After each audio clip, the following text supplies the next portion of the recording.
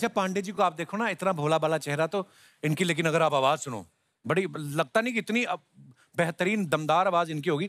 Normally ऐसी आवाज़ लड़के के बाप की होती है। जी आप बिल्कुल सही कह रहे हैं। ये बड़ा बेस यार। हाँ भाई इतना ही बोलना पड़ता है बस।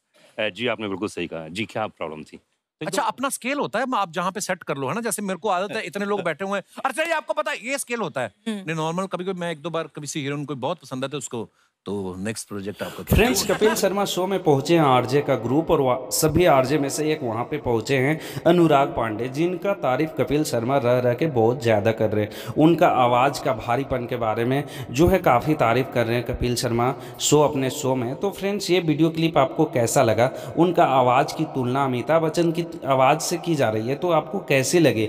आप कमेंट बॉक्स में ज़रूर बताइएगा और हमारा चैनल पर बने रहिएगा क्योंकि फ्रेंड्स और एपिसोड को पूरा देखिएगा क्योंकि बहुत मज़ा carnevale.